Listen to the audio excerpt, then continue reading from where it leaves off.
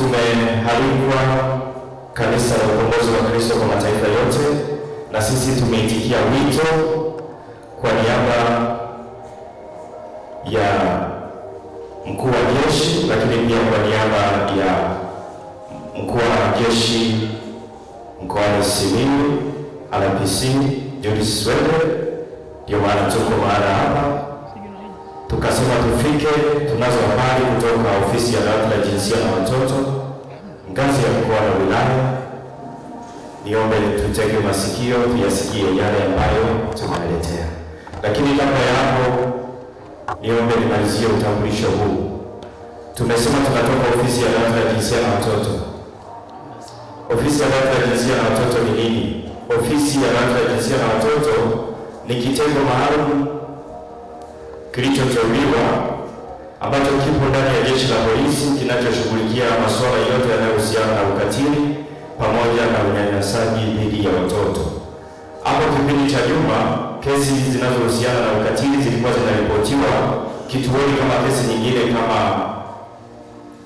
wizi, kuvunja nyumba na kuiba na kesi nyingine zinazofanana na hizo, lakini ikaonekana kesi zinazohusiana na ukatili ni kesi ambazo zinagusa utu wa mtu moja kwa moja. Kwa hiyo ndio maana jeshi la polisi Tanzania likaja na kitengo cha dawati la jinsia na watoto kitakachoshughulikia kesi zinazohusiana na, na ukatili kwa siri na ufaragha. Amina, watu wa Mungu. Kwa hiyo ukifanyiwa ukatili wowote, kuna ofisi maalum ndiyo inaitwa dawati la jinsia na watoto. Tutakuchukua, tutakuonya, lakini pia tutakufanyia counseling. Amina. Kwenye kukuoji, tutakuoji kwa siri, kwa sababu kuna mambo mengine huwezi kuyataja moja kwa moja hadharani. Hiyo ndiyo dhana hasa halisi ya dawati la jinsia na watoto, na ndiyo shabaha ya kuanzishwa kwake, kwa maana mtu aliyebakwa huwezi kwenda kumhoji pale kaunta sawasawa na yule ambaye mfanyaje ameleta malalamiko ya wizi. Kwa hiyo tunachokifanya, tutakupeleka sehemu ya siri, sehemu ya faragha, kukuhoji vizuri, ili utueleze vitu vyote bila kificho, ili kuweza kutengeneza cheni ya ushahidi, kutengeneza ushahidi ili uweze kukaa vizuri, na hatimaye tupate nini? Tupate ushindi mahakamani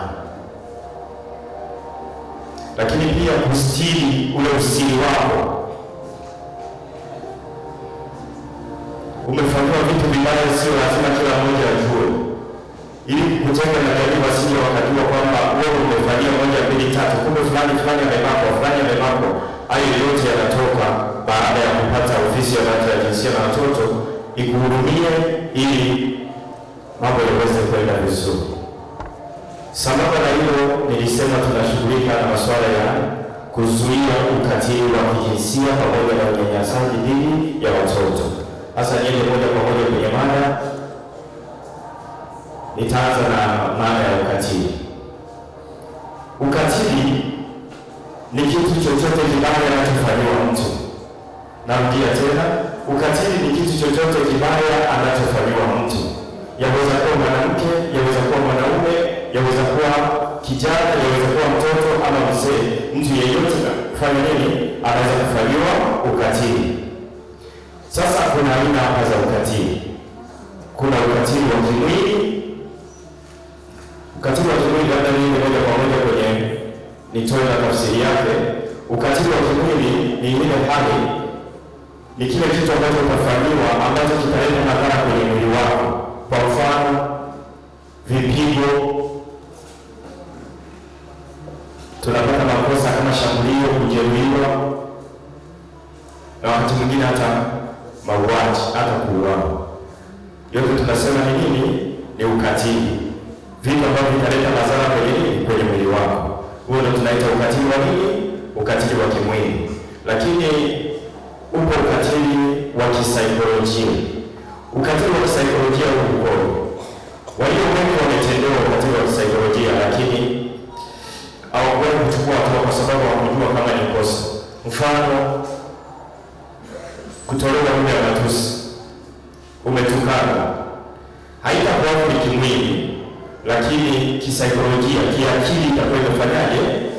imekusumbua. Kama ulikuwa ni mtu unaenda labda uko na furaha leo, unaenda kwenye sherehe, labda leo unakwenda kwenye semina ya mahusiano na ndoa, alafu kakutana na mtu amekutukana, matokeo yake kitakachotokea ni nini? Ni kwamba ni kama tunasema leo umeharibu siku yangu.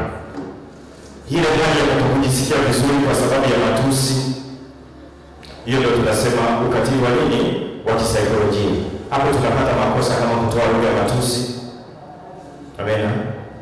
Lakini pia upo ukatili wa kingono.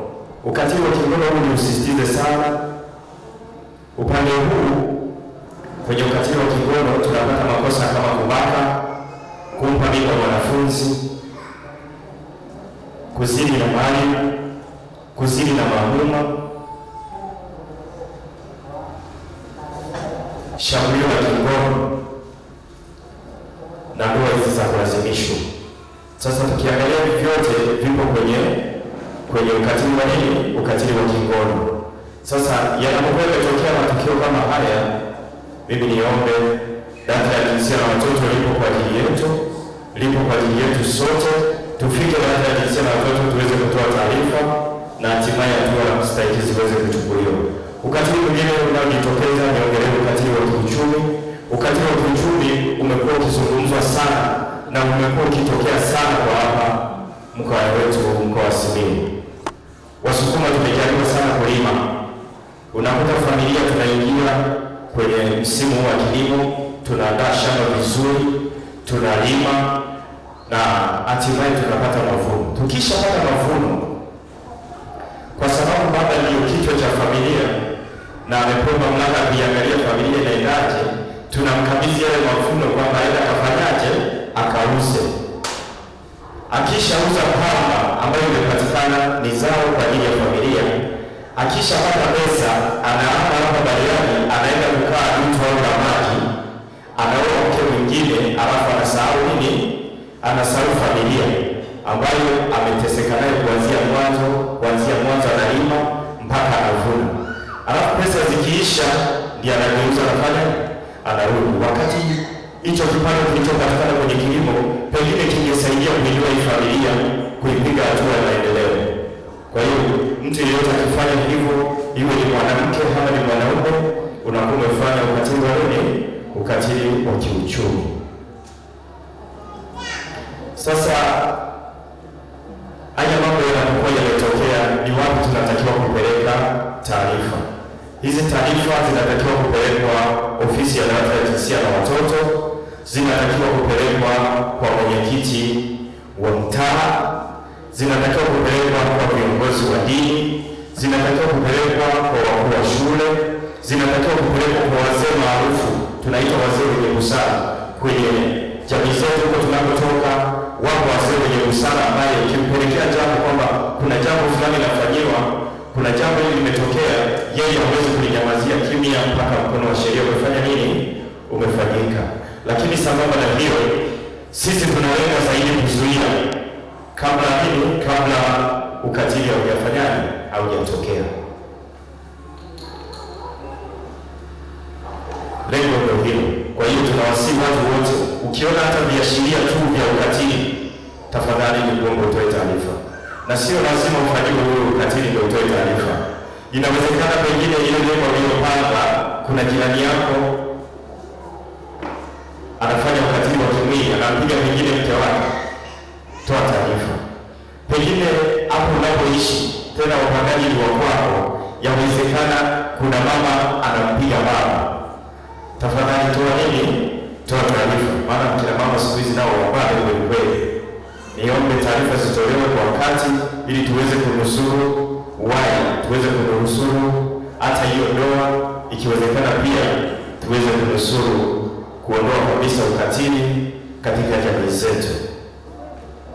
Nimetangulia kusema watu tunaofanya nao kazi sana ni viongozi wa dini, tunafanya kazi na wenye viti wa mitaa, tunafanya kazi na watendaji, lakini pia tunafanya kazi na maafisa ustawi wa jamii eh, au wote wote wanafanyaje, wote wakifikisha hizo taarifa wanazichukua kwa wakati na wanaweza kukuelekeza sehemu gani uenende. Dawati la jinsia na watoto tumejitanua zaidi, tunafanya kazi tunatoa kazi nyingine tunayofanya kazi, tunafanya kazi na Legal Service Facility au ni watoa msaada wa kisheria. Watu hawa sisi tumejikuta ni moja kwa moja ni wadau, kwa sababu kuna mambo mengine yanafika kwetu moja kwa moja, tunalazimika tu kuwaelekeza watu ni sehemu gani pa kwenda. Kwa hiyo pamoja na ukatili, kama kuna jambo lolote ambalo unahisi linahitaji msaada wa kisheria na unatamani upate ufafanuzi wake, fika na la jinsia na watoto, tutakuelekeza kwa wataalamu ni sehemu gani uende ili uweze kupata msaada kwa wepesi na kwa haraka, ili uweze kutendewa haki. Kikubwa, watu gani wanaweza kufanyiwa ukatili? Hii ni hapa. Mtu yeyote anaweza kufanyiwa nini? Ukatili bila kujali jinsia. Ndio maana nikatangulia nikasema kuna kina mama wanapokea vipigo sana, lakini anasema nikienda kuripoti dawati la jinsia na watoto ndoa yangu itavunjika. Nataka nikwambie, usisubiri mwanaume akuue, na lengo letu sisi dawati la jinsia na watoto sio kuwafunga. Kuna mambo mengine anaweza kaisha tu hata kwa mazungumzo, pengine anafanya hayo mambo kwa sababu ya kutokujua. Au to ndo anasajui sheria inasema nini lakini kama akija tukamwelimisha, anaweza akabadilika akawa mwananchi mzuri na tukasapoti maendeleo ya nchi. Tunatambua juhudi anazozifanya mama yetu Mama Samia Suluhu Hassan, kwa hiyo hatutafumbia macho vitendo vya ukatili. Kadhalika kuna kina baba nao wanapigwa na wake zao. Ninapoongea hivi watoto wako wanajua lakini akina mama wanaowapiga waume zao pia wanajua. Kwa hiyo lazima tuliangalie hili kwa mapana yake. Kuna ukatili mwingine unafanyika, kwa mfano kwa upande wa wazee. Unakuta mzee amepita umri, amezaa watoto wengi, lakini apewi zile haki zake za msingi. Umri aliofikia ni umri wa kuhudumiwa kabisa, lakini familia yote imemwacha, imeondoka, wanakaa mbali kabisa. Yule mzee hapatiani bado, na umemfanyia nini? Umemfanyia ukatili. Sawa. Kwa hiyo niombe, watoto wanaweza kufanyiwa ukatili na wazee wanaweza kufanyiwa ukatili. Niruke hicho kipengele niende, ni nani anaweza kufanya ukatili? Ni nani anaweza kufanya ukatili? Narudia tena, sio polisi wala sio haji, sio mchungaji. Kila mmoja anaweza kufanya nini? Anaweza kufanya ukatili. Tafsiri yake inamaanisha watu wote katika jamii wanaweza kufanya ukatili, ama kwa namna moja ama nyingine wanaweza kusababisha ukatili kutendeka. Kwa hiyo tusione mwali kwa sababu eti ni mchungaji, kuna mambo amekuwa akiyatenda ambayo yapo kinyume na sheria na taratibu za nchi, tukasema tukae kimya kwa sababu yeye ni mchungaji. Hapana, wapo wachungaji wanaofanya ukatili, wapo wanasiasa wanaofanya ukatili, wapo wakulima wanaofanya ukatili, kadhalika wapo wafanyabiashara wanaofanya ukatili. Haya yote inaonyesha kabisa kwamba ukatili anaweza kufanya mtu mtu yeyote. Kwa hiyo kwa kuzingatia hili, tujue hilo kwamba kila mtu anaweza kufanya ukatili mpaka wazee ukatili. Kule Kigoma kuna mama mmoja amefungwa miaka thelathini kwa sababu ya kulazimisha mapenzi ya amini, ni kijana amelazimisha mapenzi kwa nani? Kwa bibi kizee mwenye miaka sitini na nane. Sasa unaweza kuona ndio dunia ilikofikia hapo. Kwa hiyo tunatakiwa tuwe macho. Sasa huyo ni mmoja ambaye ameripotiwa na tumepata taarifa zake, lakini yapo mambo mengi sana yanafanyika kwa siri ambayo kimsingi hayajaripotiwa sehemu yoyote. Niombe chonde chonde, nitoe rai kwa wanasibili wote, unapopata taarifa hizi, kumbuka dawati la jinsia na watoto tuko hai, na dawati la jinsia na watoto kwa upande wa mkoa Simiyu linapatikana kwenye vituo vyote vya polisi ngazi ya wilaya. Sawa sawa.